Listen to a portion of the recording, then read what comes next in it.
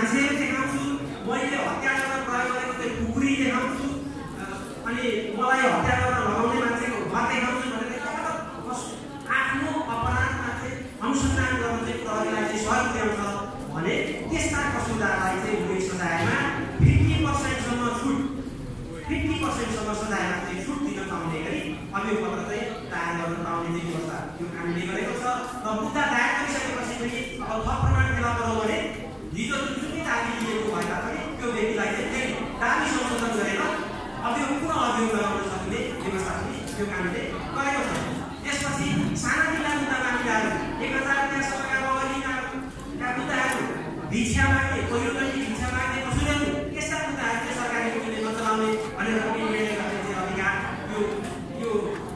संविधानले चाहिँ गरेको छ त्यसपछि बलियतपूर्ण अनुसन्धान अभियोजन गरी सजायको व्यवस्था गरेको अब प्रहरीले बलियतपूर्ण अनुसन्धान गर्यो कसुरदार वास्तविक कसुरदारलाई जनाउने र निर्दोषलाई फसाउने गरेर चाहिँ प्रहरीले अनुसन्धान गर्यो सरकारी वकिलले पनि त्यस्तै अभियोजन गर्यो भने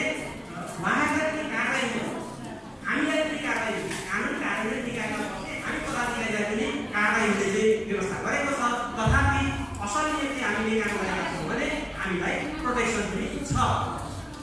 र अब त्यो कानुनले के पनि छ भने फरार भएर बसेर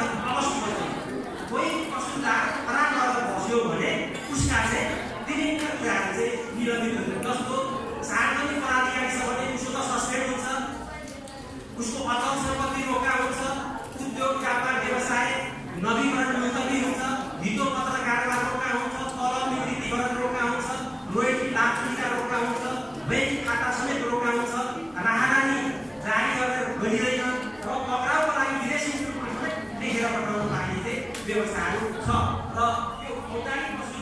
निर्धारण तथा सजाय कार्यान्वयनको सन्दर्भमा भन्नुपर्दा चाहिँ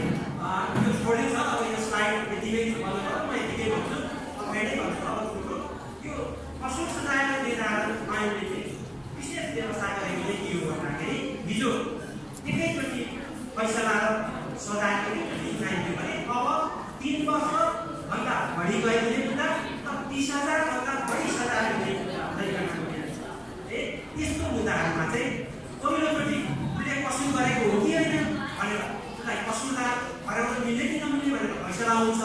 र त्यसपछि फेरि एक अब कति सजाय भनेर सजाय निर्धारण व्यवस्था गरेको छ। र सजाय निर्धारणका सन्दर्भमा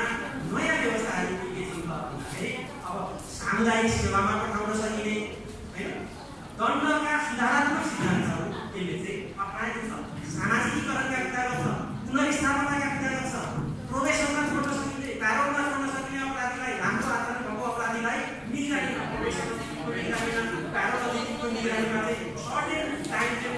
पहिले भोगिसकेका छ भने त्यस्ता व्यक्तिहरूलाई चाहिँ छोड्न सकिने त्यसको निगरानीमा चाहिँ छोड्न सकिने अनि सप्ताहन्तमा एक दिन मात्रै पवित्र गरेर बस्न पनि मिल्ने या रात्रिकालीन पवित्र मात्रै बस्नु भन्न पनि पाउने यस्ता विभिन्न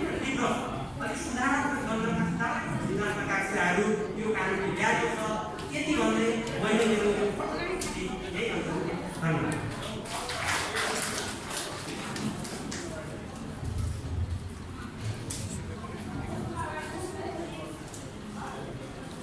金は土地だ。